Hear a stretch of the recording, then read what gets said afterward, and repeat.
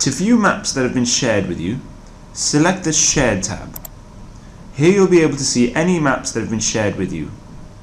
You can filter these maps by selecting a specific contact, group,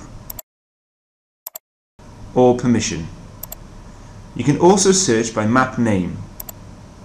This is found above the filtering options. You can view who has shared maps with you in the preview panel when the thumbnail is selected. To open the Map again, simply double click on the thumbnail or click on the icon in the preview panel.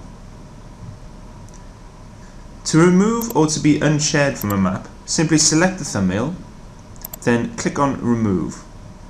You can also find this option in the preview panel. To secure that you have the most up-to-date version of the shared map, make sure to click on the refresh button found above the thumbnails.